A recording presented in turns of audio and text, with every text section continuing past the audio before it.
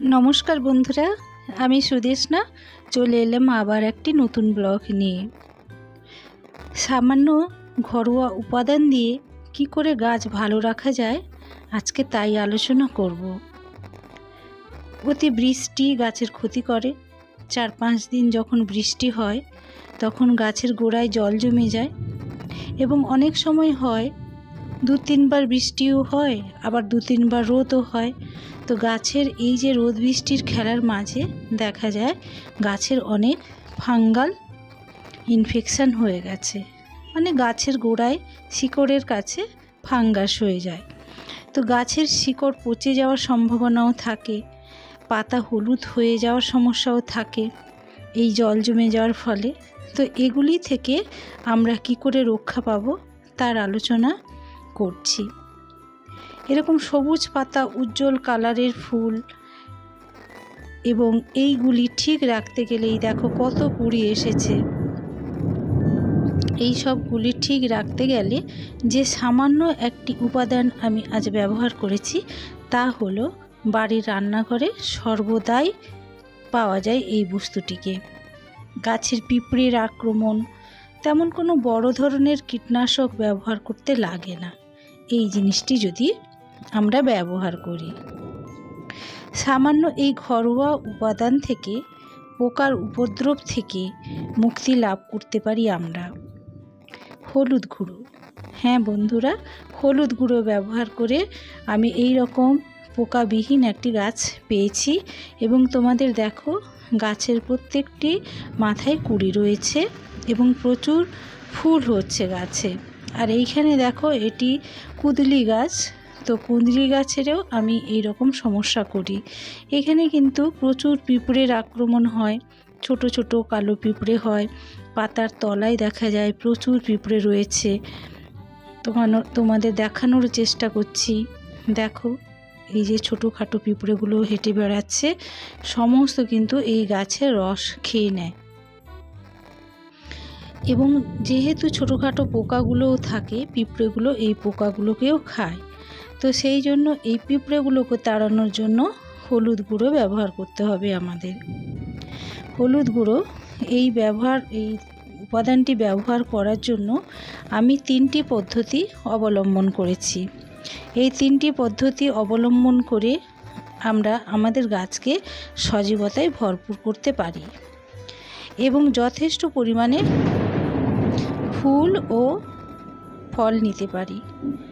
এই সিম্পল একটি জিনিস ব্যবহার করে আমাদের ছাদ বাগান, আগিনা বাগান বা আমাদের বারান্দা বাগান অনেক সুন্দর করতে পারি। এই বর্ষাতে দেখবে মিলিবাগ, ছত্রাক ও ছত্রাক রোগের বিভিন্ন, ছত্রাকজনিত রোগের যে বিভিন্ন আক্রমণ, সেগুলো কিন্তু বেশি ঘটে। এই ছত্রাকজনিত রোগের কারণগুলিকে এই সিম্পল হলুদ গুঁড়োই রক্ষা করতে পারে। এই গুঁড়োতে প্রচুর পরিমাণে অ্যান্টিঅক্সিডেন্ট রয়েছে।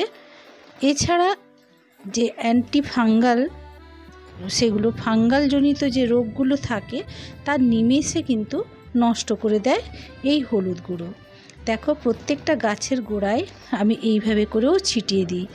তিন রকমের ব্যবহার আমি বললাম, তার ভিতরে এই ব্যবহারটিও অনেক। আর দেখো, কত পরিমাণ কুড়ি হচ্ছে। প্রত্যেকটি গাছেই কিন্তু কুড়ি রয়েছে এবং কিন্তু পোকা কিন্তু নেই। টবের মাটিতেও অনেক সময় পোকার আক্রমণ হয়, ফাঙ্গাস হয়ে যায়। সেই ক্ষেত্রে এই গুঁড়ো অনায়াসেই আমরা এইভাবে ব্যবহার করতে পারি। কেঁচো, কেন্ন, পোকার উপদ্রব যদি গাছ নষ্ট হয়ে যায় তবে এটির ব্যবহার খুবই সুরক্ষিত রাখে গাছকে। টানা যদি বৃষ্টি হয়, তারপর রোদ্দুর উঠলে গাছে ফাঙ্গাস লেগে যায় বললাম, সেক্ষেত্রে ব্যবহার করা যায় এই হলুদ গুঁড়ো। ছড়িয়ে দিতে পারো গাছের পাতায়, গাছের গোড়ায়। আর এই দেখো, স্প্রেয়ার একটি। তো এর ভেতরেও আমি হলুদ গুঁড়ো নিয়ে নিয়েছি। আর দেখো, এইভাবেও তোমরা স্প্রে করতে পারো। পিঁপড়ে হলুদ গুঁড়ো গন্ধ সহ্য করতে পারে না। সেই সব গাছে পিপ, যেসব গাছে পিঁপড়ে লাগে, তাতে এই হলুদ গুঁড়ো যদি ছড়িয়ে দাও, সাথে সাথে পিঁপড়ে উধাও হয়ে যাবে। বর্ষায় যদি গাছকে মাসে দুবার হলুদ গুঁড়ো দেওয়া যায়, তবে গাছ অনেক হেলদি থাকে।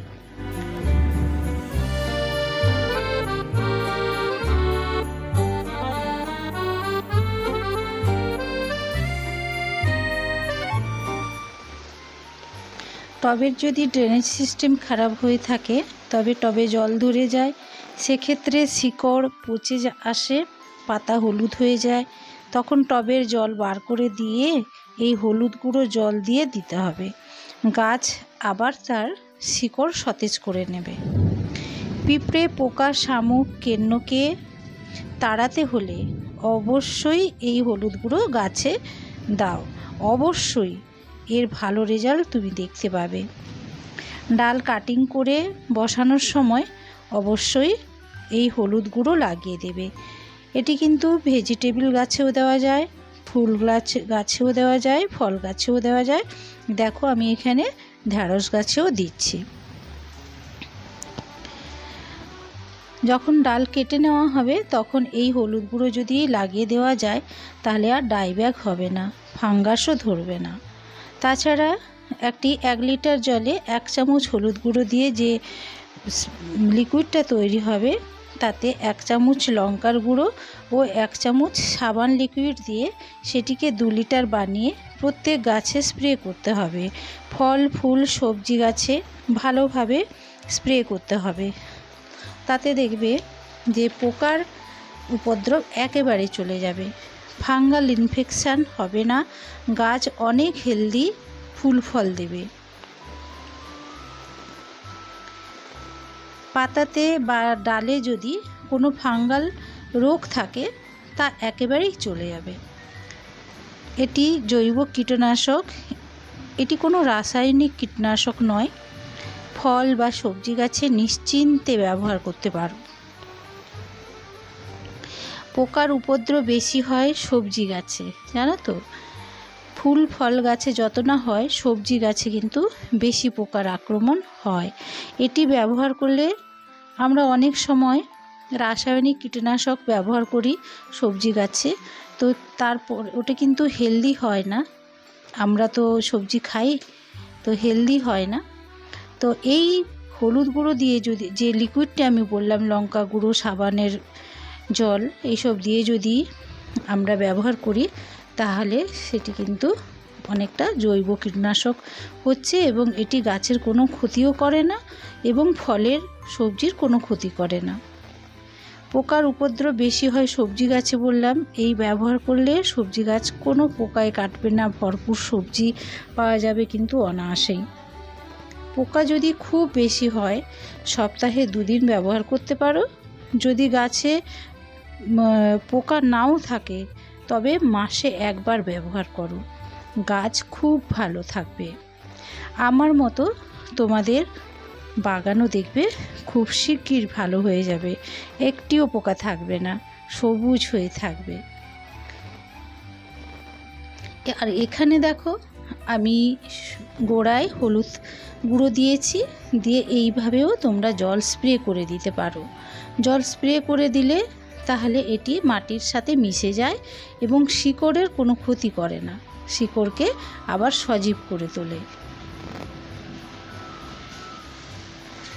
হলুদ গুঁড়ো বাজারে সব জায়গায় পাওয়া যায়। আমাদের বাড়িতে, সবার বাড়িতেই থাকে হলুদ গুঁড়ো। এটি কোনো দুষ্প্রাপ্য জিনিস নয়। যে পাওয়া যাচ্ছে না, দেওয়া যাবে না, সেরকমও ব্যাপার নয়। বা এটিকে কোনো গ্লাভস না পরে হাতেও দেওয়া যায় গাছের গোড়ায়। এটির কোনো সাইড এফেক্ট থাকে না। সব কিছুতেই আমরা এই হলুদ গুঁড়ো ব্যবহার করতে পারি এবং হলুদ গুঁড়োর দামও খুব একটা বেশি নয়।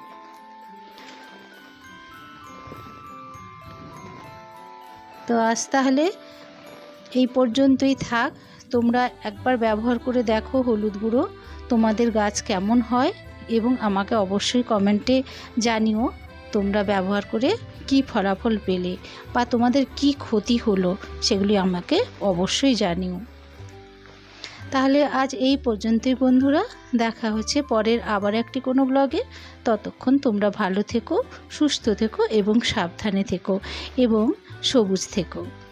ধন্যবাদ।